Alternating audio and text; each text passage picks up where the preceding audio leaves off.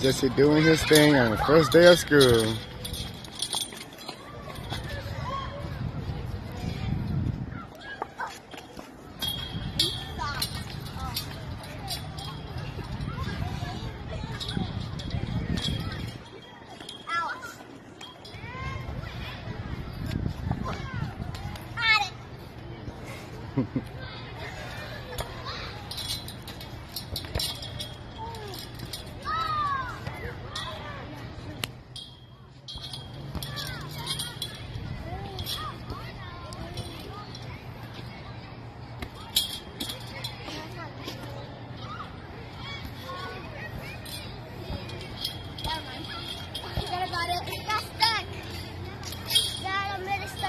Yeah.